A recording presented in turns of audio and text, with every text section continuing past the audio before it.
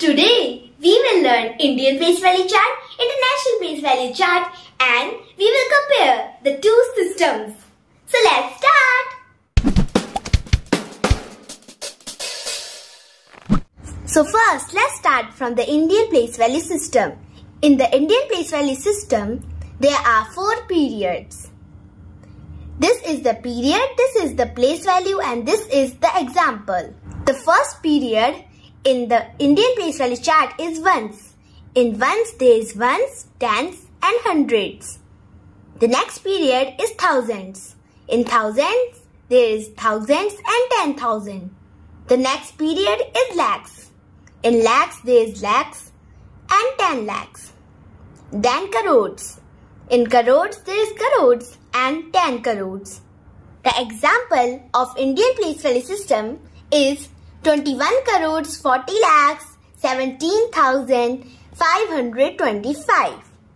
So now let's do international place value system. In the international place value system there are three periods but in Indian place value system there are four. In international place value system in every period there is three place values but in Indian there are four periods but in one period there are three place values but rest of them have two. The first period international place value chart is ones. In ones there is ones, tens and hundreds. Next period is thousands.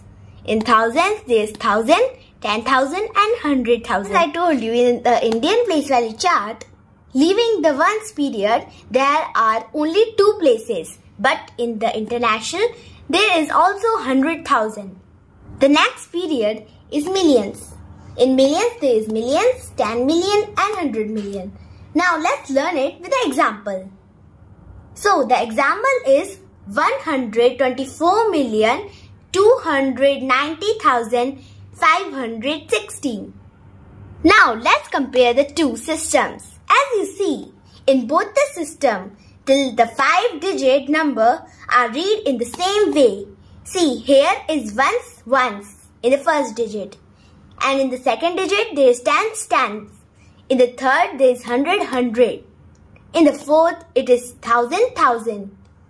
In the fifth, it is ten thousand and ten thousand. But in the sixth digit, this thing changes.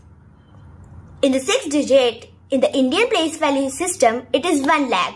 But in international, it is 100,000. In the 7 digit Indian place value chart, there is 10 lakh. But in international, it is 1 million.